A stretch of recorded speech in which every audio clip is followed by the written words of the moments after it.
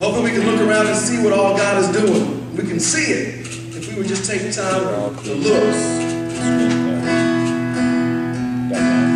Cause Lord, you're leading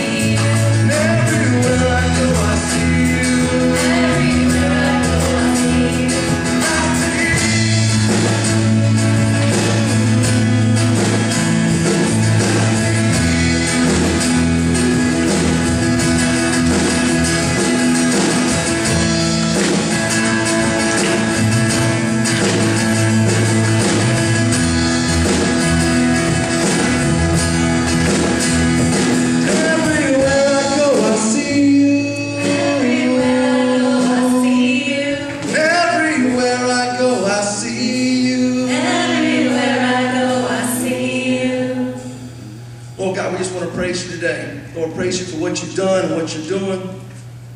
And Lord God, we want to just continue just to, uh, to bless you for everything that you've done in our lives, what you've done this week. We want to continue to, to praise you. Amen. All right.